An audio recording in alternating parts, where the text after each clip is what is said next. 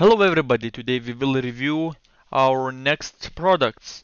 Uh, we have um, Sour Patch Kids Extreme. We also have oh, we also have Tubble Gum and we have Kool-Aid. We already made a jug full of Kool-Aid with drank some. It was really good. I think we added a little bit too I think we need to add more sugar because it's a little bit sour and I want sweet. But it doesn't taste as bad at all. It's really good. What can you say? Yeah, my brother also thinks it is very good, but I think more sugar will be better, yeah? yeah. So now let's move on to Sour Patch Kids. Extreme.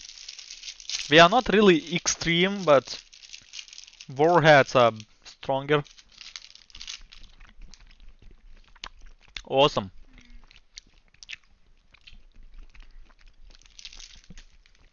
That is awesome. That's sourness, yeah? Let's take another. The blue one was very good. How about orange?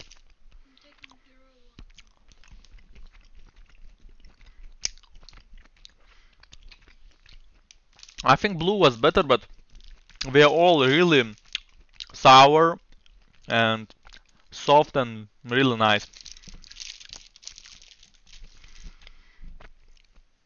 And last product, Tubble Gum. I don't really know how you do it. Do you need to just press it like that? Okay, let's press it. Okay, I see something coming out.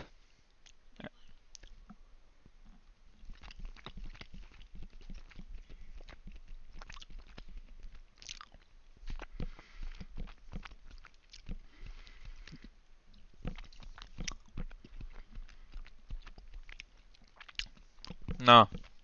Like you like it? Mm -hmm. The taste is strange. I don't know, it tastes strange and that's just a really strange thing. I didn't re really like that one. My brother liked it. Whatever.